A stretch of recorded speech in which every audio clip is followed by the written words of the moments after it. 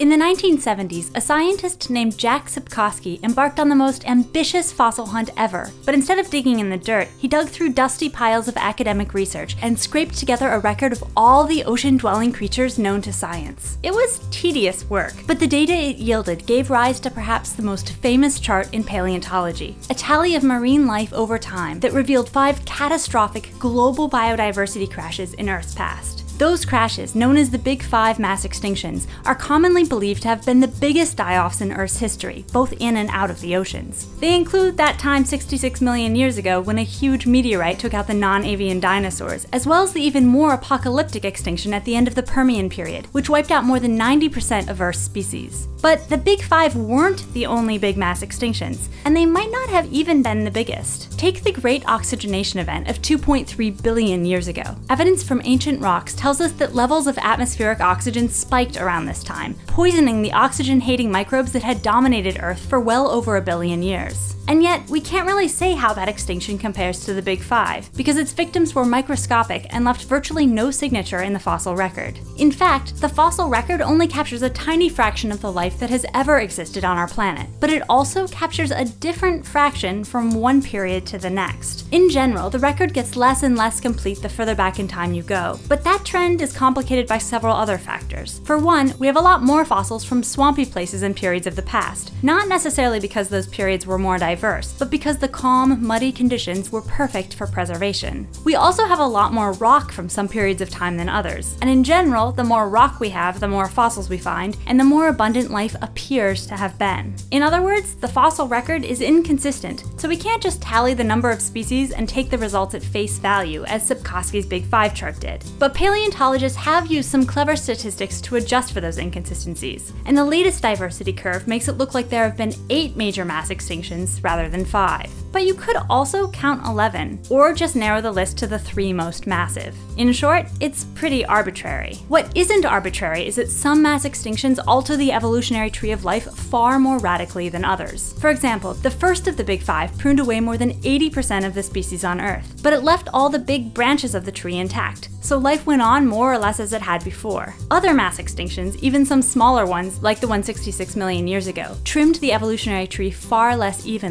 decimating some previously thriving branches and preparing others for world domination.